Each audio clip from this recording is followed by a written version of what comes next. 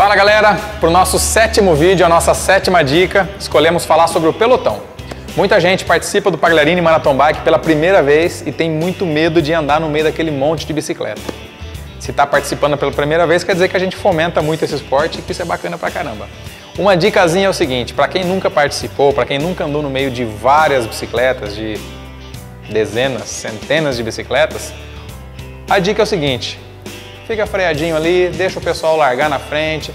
A hora que viu que deu aquela selecionada já, aquela raleada no pelotão, comece a andar devagar e vai no seu passo, vai no seu ritmo, sem se preocupar em querer ganhar vantagem. Isso é normal para quem está pedalando, mas tenta se controlar um pouquinho e não tem segredo. Vai ver que a hora que está na estrada, cada um pega o seu lugar ali e o pelotão flui com bastante dinâmica. Aqueles que queriam fazer a competição realmente pegar fogo já foram embora, estão lá disputando lá na frente.